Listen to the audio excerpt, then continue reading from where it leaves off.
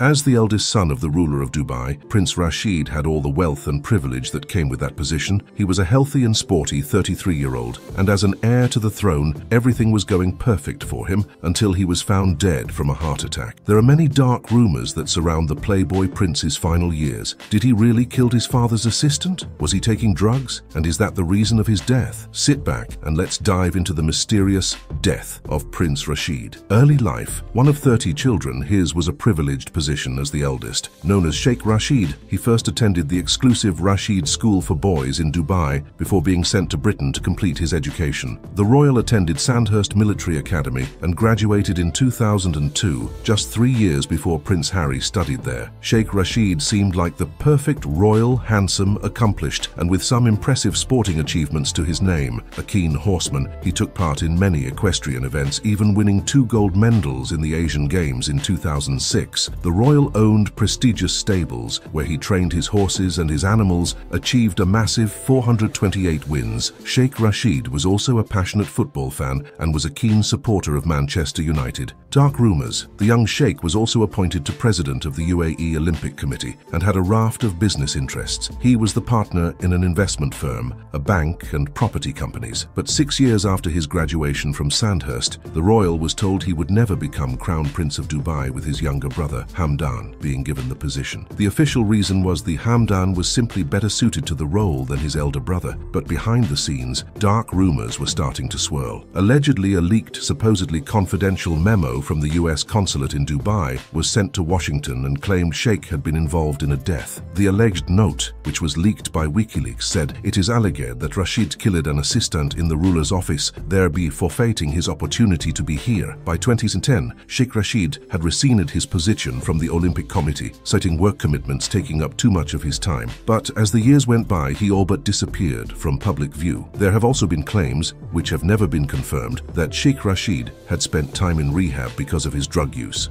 the prince's demise. And then, aged 33, he was found dead from a heart attack on September 18, 2015. Dubai observed a three-day official mourning period for the sporty young royal, and UAE flags were flown at half-mast throughout the country. His funeral was held the day after his death, and his father still rules, with Hamdan next in line for the throne. In this extremely non-permissive environment, Sheikh Rashid must have been a great embarrassment to his conservative father. Sheikh Mohammed has done everything he can to ingratiate himself into Western society. Often he swapped his traditional Arabian garb for the top hat and tails of Royal Ascot, where he swanned among British high society and where horses from his Godolphin stables won many big races. The Sheikh craves Western affirmation and everything that goes with it. The fate of Dubai depends upon it. But he also carries himself with a certain decorum and demands the same of those around him. His status in his homeland depends on that. By all means, his eldest son failed monumentally in that respect. The latest Sheikh Rashid had, in fact, barely been sighted publicly since 2008. What caused his heart attack may never be known, but given the snippets of his past which have emerged, a naturally weak ticker seems an unlikely cause of death. In if a recent development that has captured the attention of many, Sheikha Shaika Thani Al Maktoum, a prominent figure in the Al Maktoum family, has made a significant move from the first Zabeel Palace to the main Zabeel Palace, historically known as Sheikh Rashid's Palace. This transition is not just a mere change of residence, but symbolizes a deeper connection within the royal family dynamics. The first Zabeel Palace, where Sheikha Sheikha initially resided, holds its own charm and historical significance. However, the main Zabeel Palace, associated with Sheikh Rashid, is renowned for its grandeur and is central to the family's heritage. This move by Sheikha Sheikha signifies a closer integration into the heart of the family's lineage and traditions. This change in residence has elicited a range of reactions within the Al Maktoum family.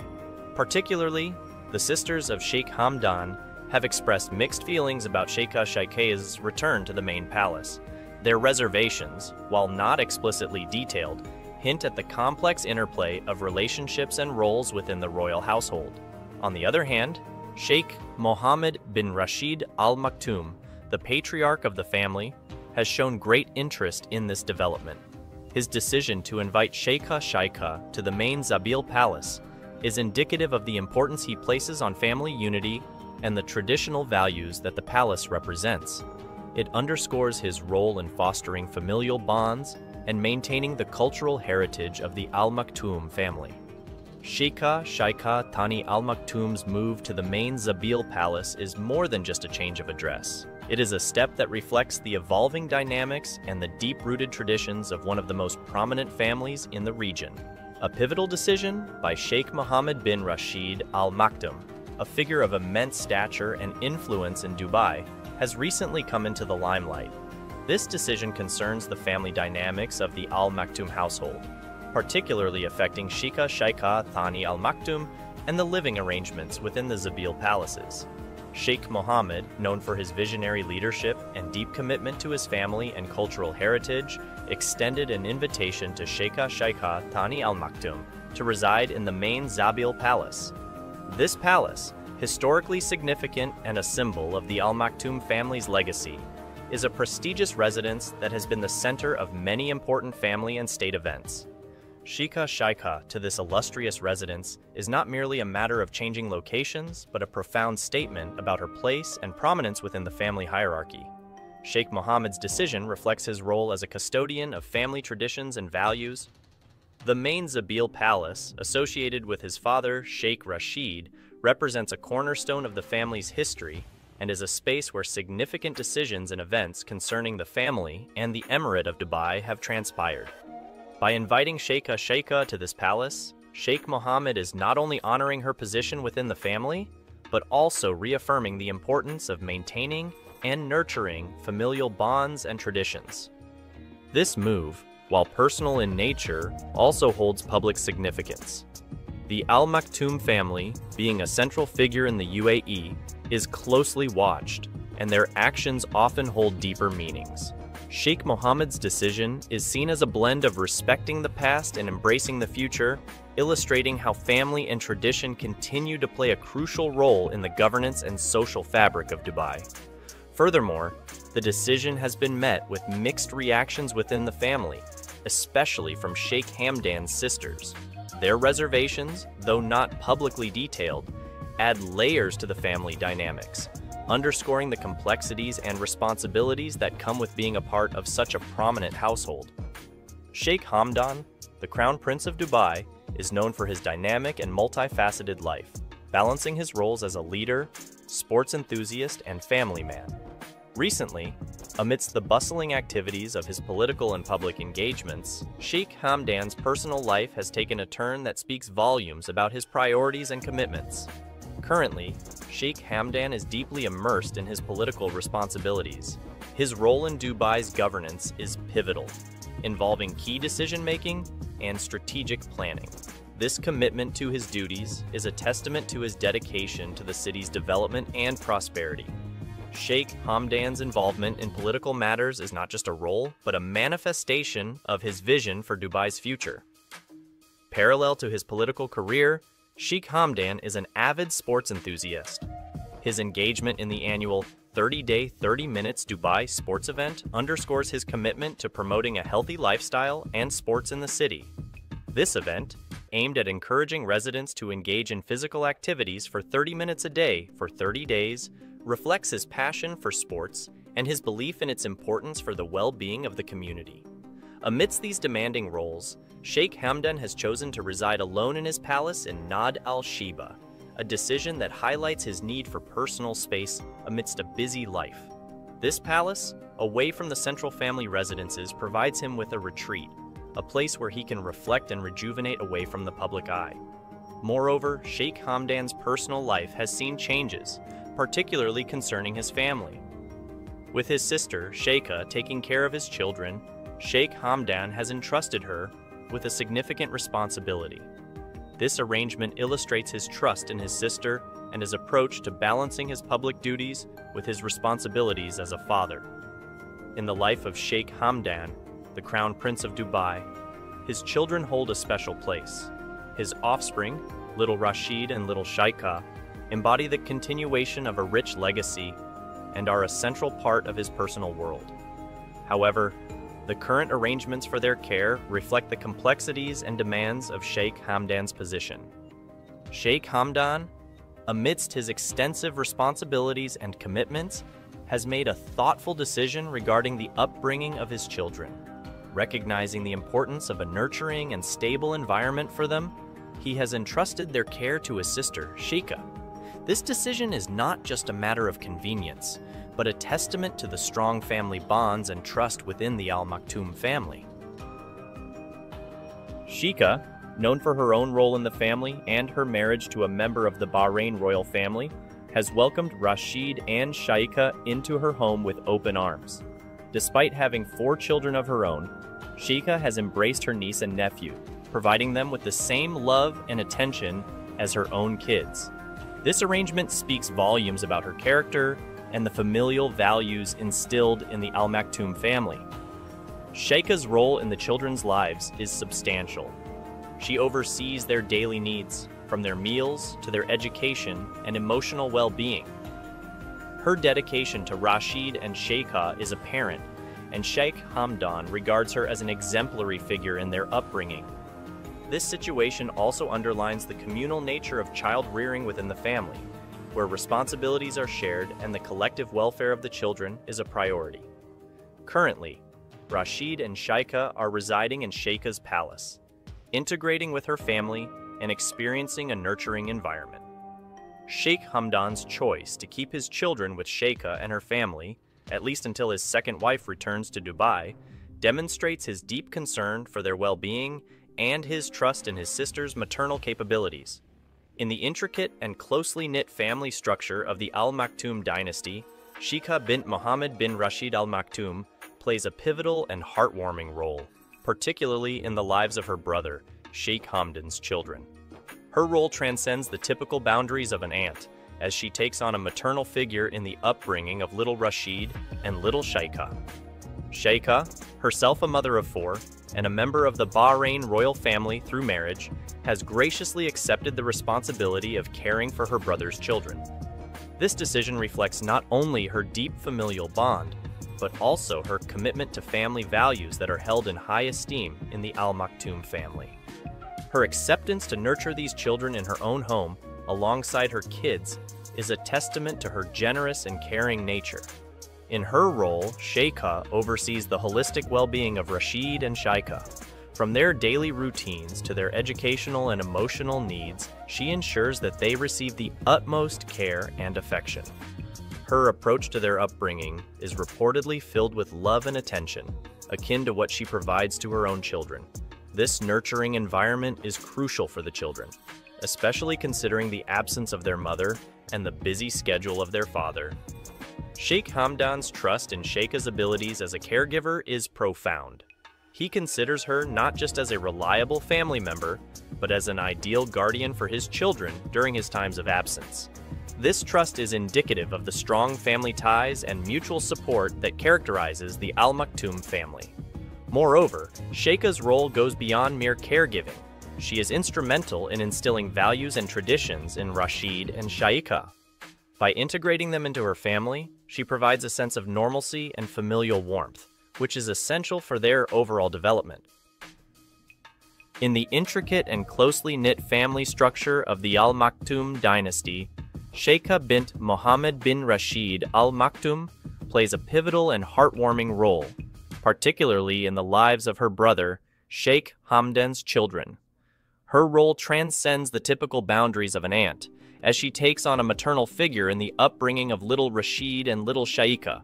Shaika, herself a mother of four and a member of the Bahrain royal family through marriage, has graciously accepted the responsibility of caring for her brother's children. This decision reflects not only her deep familial bond, but also her commitment to family values that are held in high esteem in the Al Maktoum family. Her acceptance to nurture these children in her own home alongside her kids is a testament to her generous and caring nature. In her role, Sheikha oversees the holistic well being of Rashid and Shaika. From their daily routines to their educational and emotional needs, she ensures that they receive the utmost care and affection. Her approach to their upbringing is reportedly filled with love and attention, akin to what she provides to her own children. This nurturing environment is crucial for the children, especially considering the absence of their mother and the busy schedule of their father. Sheikh Hamdan's trust in Sheikha's abilities as a caregiver is profound. He considers her not just as a reliable family member, but as an ideal guardian for his children during his times of absence. This trust is indicative of the strong family ties and mutual support that characterizes the Al Maktoum family. Moreover, Sheikha's role goes beyond mere caregiving. She is instrumental in instilling values and traditions in Rashid and Shaika. By integrating them into her family, she provides a sense of normalcy and familial warmth, which is essential for their overall development. The lives of little Rashid and little Shaika, the children of Shaykh Hamdan, have taken a nurturing and wholesome turn under the care of Sheikha bint Muhammad bin Rashid Al Maktoum. In the absence of their mother, and with their father's demanding schedule, the children have found a second home with Sheikha, who has graciously stepped into a maternal role for them. Living in Sheikha's palace, Rashid and Sheikha are experiencing a unique upbringing one that is steeped in love, care, and the rich traditions of the Al Maktoum family. Sheikha, already a mother to four children, integrates Rashid and Sheikha into her family seamlessly, ensuring that they do not feel the absence of their parents. This integration is a beautiful example of the strong family bonds and the collective approach to child rearing prevalent in the Al Maktoum family. Sheikha's dedication to the children's well being is comprehensive, she oversees their education, ensuring that they receive the knowledge and skills necessary for their future roles. Beyond academics, she also pays close attention to their emotional and social development, providing a supportive and nurturing environment. Sheikha's role in their lives goes beyond the duties of caregiving. She is instilling in them the values and traditions of their heritage, an important aspect considering their place in Dubai's royal family. Moreover, Rashid and Shaika are growing up alongside their cousins, creating a familial atmosphere that is rich in relationships and interactions. This setting allows them to develop strong social skills and familial bonds, which are invaluable in their personal development. In Sheikha's care, the children also participate in various activities and experiences that contribute to their holistic growth. From cultural events to everyday play, they are provided with a balanced and enriching life, crucial for their overall well-being. In essence, under Sheikha's guardianship, Rashid and Shaika are not only receiving the love and care needed in their formative years, but are also being groomed in the traditions and responsibilities that come with being a part of the Al Maktoum family. This period in their lives, under Sheikha's nurturing wing, is shaping them into well-rounded individuals, ready to take on their future roles. How many wives does the Crown Prince of Dubai have? Polygamy in Islamic culture. Polygamy, specifically polygyny, where a man is allowed to have multiple wives, is a practice rooted in Islamic culture and is addressed in Islamic religious texts. It is important to understand this practice within its cultural and religious context. Quranic basis. In Islam, the Quran provides the fundamental guidance on polygamy.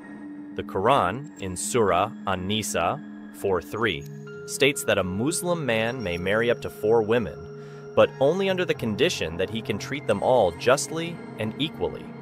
This scripture is often cited as the religious basis for polygamy in Islamic culture. Conditions and limitations. The practice comes with strict conditions. The Quran emphasizes justice and fairness among wives, if a man fears that he cannot deal justly with multiple wives, he is advised to marry only one. The stipulation of equal treatment is crucial and includes financial support, time, and emotional care. Historical context. Historically, polygamy was practiced in many cultures and was not unique to Islam.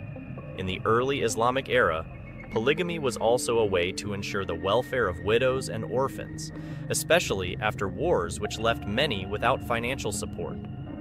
Modern interpretation and practice. The practice of polygamy varies greatly in the modern Muslim world. In some countries, it's relatively common, while in others, it's rare. Factors influencing this variation include local cultural practices, economic conditions, and the laws of the country. Some Islamic nations have additional legal requirements for a man to marry more than one wife, such as obtaining consent from a previous wife or demonstrating financial capability. Legal status in different countries. The legality of polygamy varies across Muslim majority countries. Some, like Saudi Arabia and the UAE, allow it without significant restrictions, whereas others, like Tunisia and Turkey, have banned the practice. There are also countries where it's legally permitted but not widely practiced due to social changes and economic challenges. Social perspectives. Within the Muslim community, there are diverse opinions about polygamy.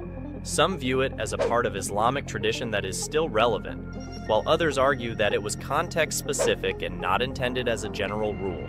There's also a growing debate about women's rights and gender equality in relation to polygamy. Global Muslim communities.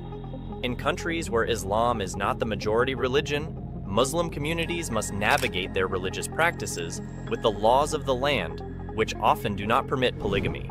This has led to varied adaptations and interpretations of Islamic teachings on marriage in different cultural contexts. Sheikh Hamdan's marital status. Sheikh Hamdan bin Mohammed bin Rashid Al Maktoum, the Crown Prince of Dubai, is a figure of significant public interest, and his personal life, particularly his marital status, often attracts attention. Here's what is known based on public information Marriage announcement Sheikh Hamdan also popularly known by his poetic pseudonym Fazza, was reported to have been married in May 2019. His wedding was a private affair, and the details were not widely publicized. The marriage was part of a larger celebration that also included the weddings of his two brothers. Private ceremony. The wedding ceremony was private and traditional. As per Emirati culture and royal family customs, such events are often kept away from the public eye. The details about the ceremony, including the venue and the specifics of the event, were not extensively shared with the media or the public. Spouse's identity Sheikh Hamdan married Shika Sheikha bint Saeed bin Thani al Maktoum. Little is publicly known about Sheikha Sheikha, as she, like many members of the royal families in the Gulf region, maintains a private life away from media spotlight. Public appearances, and social media. Sheikh Hamdan is active on social media, particularly on platforms like Instagram, where he shares aspects of his public and adventurous life. However, he is known to keep his personal life, including his marital life, private. He rarely shares information or images related to his family or private affairs. Children. Sheikh Hamdan is known to have children. He announced the birth of his twins, a boy and a girl named Rashid and Sheikha, in May 2021. The announcement was made through his social media, where he shared a picture of the newborn's feet. More recently, in 2023, he announced the birth of another child. Lack of further details. Beyond these facts, there is limited information available to the public about Sheikh Hamdan's marital life. He has not disclosed more details about his family or his wife, adhering to the privacy norms typically observed by members of the Gulf royal families. Public curiosity and speculation. Due to his high profile status and the private nature of his personal life, there is often public curiosity and speculation about Sheikh Hamdan's marital status and family life. However, in the absence of official information, these remain speculative. Royal privacy. The concept of privacy for members of royal families, including Sheikh Hamdan bin Mohammed bin Rashid Al Maktoum, Crown Prince of Dubai, is a significant aspect of their public life. Here are key points regarding royal privacy based on public information. Cultural norms and traditions. In many royal families, especially in the Gulf region, there is a strong cultural norm to keep personal and family matters private. This tradition is deeply rooted in respect for personal boundaries and the desire to maintain a distinction between public duties and private life. Media approach to royal families. The media often respects these boundaries, especially in regions where there is a close relationship between the state and the royal family. In the UAE, for instance, the media typically refrains from intruding into the personal lives of the royal family members unless information is officially released public appearances and communication. Members of royal families, including Sheikh Hamdan, often appear in public for official duties, state functions, and charity events. While they are visible in these public roles, they usually do not discuss their private lives in these settings. Their communication is often focused on their public roles and responsibilities. Social media presence. Many royals, like Sheikh Hamdan, use social media platforms to connect with the public. However, they generally use these platforms to highlight their work, cultural events, or personal interests rather than to share intimate details of their private lives. Sheikh Hamdan, for instance, is known for his Instagram posts showcasing his adventurous lifestyle and love for sports and nature. Respect for privacy. There is a general understanding and respect for the privacy of royal families among the public and the press. Intrusive speculation or reporting about their private lives is often viewed as disrespectful or in poor taste. Legal protections. In some countries, there are legal protections in place to safeguard the privacy of royal family members. These can include laws against paparazzi-style photography or reporting on private matters without consent. Global variations. The extent of privacy and how it is maintained varies globally among royal families. In some European monarchies, for example, there is a greater openness about personal lives, whereas in the Gulf monarchies, a higher level of privacy is maintained. Balancing Act. Royals often balance their public and private roles. They participate in public engagements and use their status to promote charitable causes or cultural initiatives, while keeping their personal lives, including aspects like marriages and children, away from the public eye.